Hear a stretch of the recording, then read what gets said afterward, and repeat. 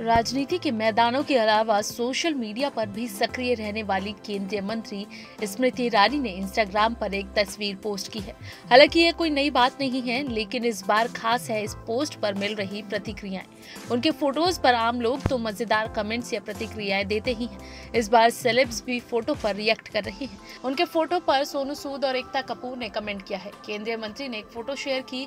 इस फ़ोटो में वो कागज़ कलम थामे हुए हैं। फ़ोटो में नज़र आ रहा है कि वो कुछ ज़रूरी कागज़ी कामों में उलझी हुई हैं। स्मृति ने इसकी जानकारी अपने इस पोस्ट के कैप्शन में भी दी है। उन्होंने लिखा, कौन कहता है कि होमवर्क सिर्फ़ स्कूल में होता है, पढ़ती का नाम प्यारी, इसी में चली आई आधी उम्र हमारी। इसके बाद उन्होंने मज़ाक अंदाज में आधी उम्र को लेकर भी सफ़ाई दी है।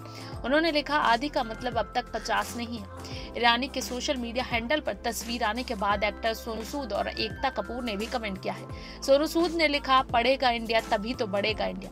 खास बात है कि दूसरी हस्तियों की तरह ही सूद भी सोशल मीडिया पर काफ़ी एक्टिव रहते हैं वो लगातार प्लेटफॉर्म्स के ज़रिए यूज़र्स के साथ संपर्क में बने रहते हैं।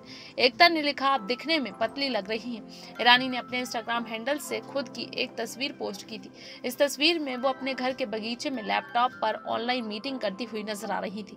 इस फ़ोटो के कैप्शन में उन्होंने लिखा पेंडेमिक मॉर्निंग्स इस तस्वीर में वो हवाई चप्पल पहने हुए हैं। एक यूज़र ने चप्पलों को देखकर कहा, हवाई चप्पल। यूज़र के इस कमेंट के बाद ईरानी ने बड़े ही मज़ेदार ढंग से जवाब दिया।